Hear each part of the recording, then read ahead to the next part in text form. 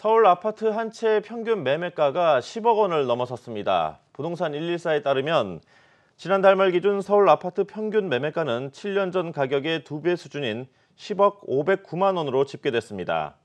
특히 서울 강남구 아파트의 평균 매매가가 처음으로 20억 원을 돌파한 가운데 재건축이 진행 중인 마포와 용산, 성동구의 상승세도 두드러진 것으로 나타났습니다. 규제가 집중된 아파트를 피해 다세대 주택 투자에 대한 관심이 늘고 있다고 합니다. 하지만 값이 저렴하다고 섣불리 투자했다가는 낭패를 볼 수 있어 주의가 필요해 보입니다. 김원규 기자입니다. 지난달 서울 지역의 다세대 주택 거래량은 6,500여 건, 2008년 4월 7,600억 건을 기록한 이후 월별 기준으로 12년여 만에 최대 수준입니다. 매매 문의가 평소보다 많긴 해요. 근데 원래 빌라 문의는 어, 매매보다 전세가 훨씬 많아요. 원인이 딱히 뭐라고 말하기는 좀 어, 어렵기는 한데요. 다세대 주택에 대한 높은 관심은 정부의 부동산 정책 영향이 큽니다. 아파트에 대한 이딴 규제로 투자 상황이 여의치 않다 보니 다세대로 관심이 쏠린 겁니다. 고가 아파트에서 시작해가지고 중저가 주택 이렇게 막 내려가면서 그리고 최고 마지막 단계가 이제 다가구 빌라 이런 것들인데 그쪽까지도 이제 거의 가격이 상승이 되지 않겠느냐 그런 것들이 이제 지금 나타나는 것 같아요. 정부가 내놓은 규제들이 이제는 지역을 넘어 주거 형태별로 풍선 효과를 내고 있다는 설명입니다.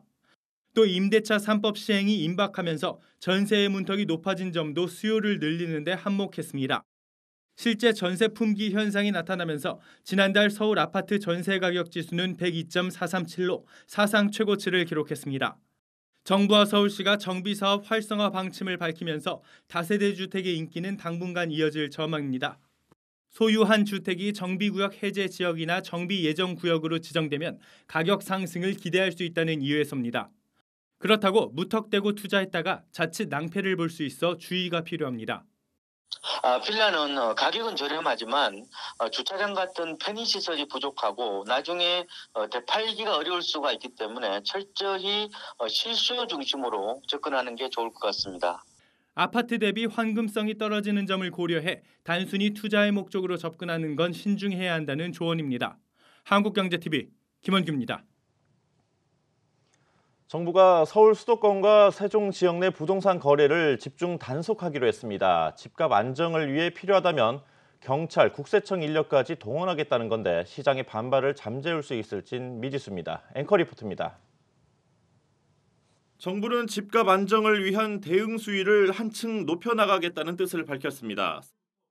서울 수도권과 세종 등 집값이 급등한 지역 내 단속을 강화하기 위해 경찰과 국세청 인력을 추가 투입하겠다는 겁니다. 8월 7일부터 진행 중인 경찰청의 100일 특별 단속과 국세청의 부동산 거래 탈루 대응 TF에서의 점검 대응을 가일층 강화해 나가도록 하겠습니다.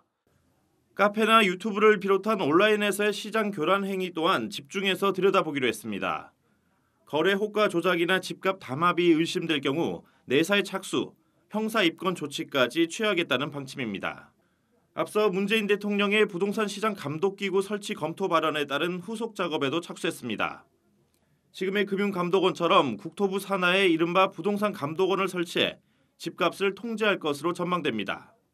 그러나 세제 금융 규제, 정부 감시와 개입까지 더해진 부동산 정책이 시장의 반발을 이겨낼 수 있을진 미지수입니다. 조세 저항의 확산과 더불어 경제에도 적잖은 악영향만 가져올 거란 비판입니다. 정부 정책을 믿지 못하는 시장에 신뢰를 주는 일이 먼저 필요하다고 생각이 되고요. 지금처럼 같은 방향만 또 계속 가속으로 질주를 한다면 저는 지금 이뤄지고 있는 조세 저항이 더욱더 크게 확산될 수 있을 거라고 보여지고 결국은 더욱더 경제를 망치는데 부동산이 큰 역할을 할 것 같아요. 한편 정부는 8사 대책이 차질 없이 이루어지도록 공공 재개발 사업지 지정과 절차를 간소화하는 등 주택 공급에 속력을 내기로 했습니다. 한국경제TV 임원식입니다.